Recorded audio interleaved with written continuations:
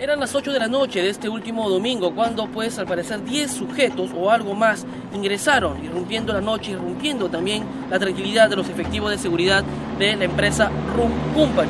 Al parecer esta sería la segunda vez que roban a una de las empresas más grandes dentro de la jurisdicción de Santiago de Cabo y por qué no decirlo una de las más grandes también del Valle Chicama, incluso de la región La Libertad. No obstante, cámaras de vigilancia, seguridad, eh, bloques, barreras de fierro, paredes altas, no han sido impedimento alguno para que estos fascinerosos hagan de las suyas. Habrían sido prácticamente tres horas las que eh, se habrían encontrado al interior de esta empresa para hacer de las suyas. Eh, hasta ahora se reporta que se habrían llevado cajas de licor, eh, una camioneta 4x4, equipos, logística, en fin, y trasladándolos dentro de un pequeño container o un camión.